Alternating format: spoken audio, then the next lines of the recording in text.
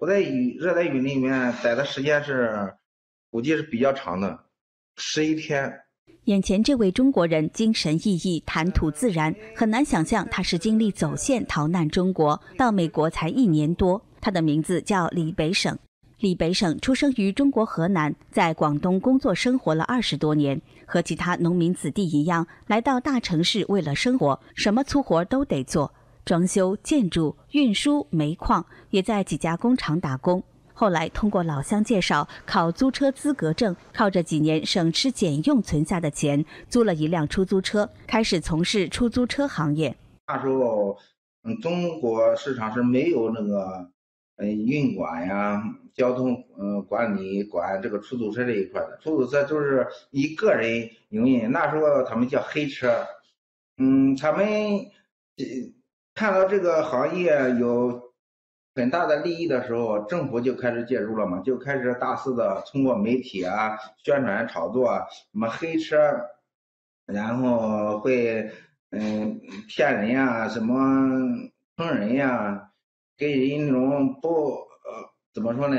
不安全的一种感觉。后面政府就把那个打击非法营运啊，那个黑车啊就取缔了。取缔了以后，就开始政府介入市场。李北省表示，后来政府介入出租车市场，整个出租车以权力为中心，个人就无法再单独开出租车了。李北省告诉记者，开出租车的这段时间，不但收入有增加，也接触到社会各种各样的人。其中一名访民为了替弟弟申冤，走上访民之路，最后却没有好下场。因为他弟弟，呃，是被那个公安部门关了精神病院，嗯，长达六年左右。然后后来呢，他弟弟。在长期在精神病院服用那个药物啊，包括精神上的折磨啊，最后精神病精神真的出了问题。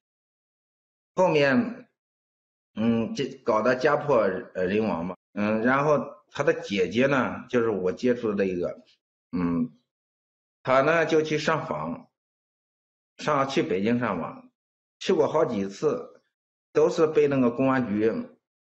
嗯，就是地方的国宝吧，就抓回来，抓回来，头两次就是警告，再后来呢，就直接，呃，关了大概有半年吧。后面就在那个看守所直接去威胁他，你要是再去上访的话，你都不要想着出来了，你就准备在监狱里待着。李北胜开始在网络替这些上访民众发出不平的声音。然而，自己也却因此惹祸上身。最早的时候应该是一零年，嗯，呃，开始经常在微博上声援那些，呃，上访的维权的，嗯，各种不公啊，就是所谓的支持正义嘛，在网络上微博上，嗯，支援他们。到了一二年的时候，我们家里面。被那个镇政府跟那个村委，嗯，还包括县政府，他们一起把我们村的集体地，嗯，强征。后面我们也去过一次上访过，嗯，那我是看清楚他们的真面目以后，我再也不去上访了。李北胜长期关注被强拆户、被强征土地的弱势群体，帮忙转发消息。二零一三年遭广东国宝传唤喝茶七次，二零一五年在河南被当地传唤三次。他们带了有，估计有八十来个人吧，就我们家里面直接去，呃，告诉我，嗯，上外网是违法的。我说违的是什么法呀？他说他们，呃，内部条例不能给我看。那时候警告我我以后，我都已经知道他们。肯定会想办法，呃，治我。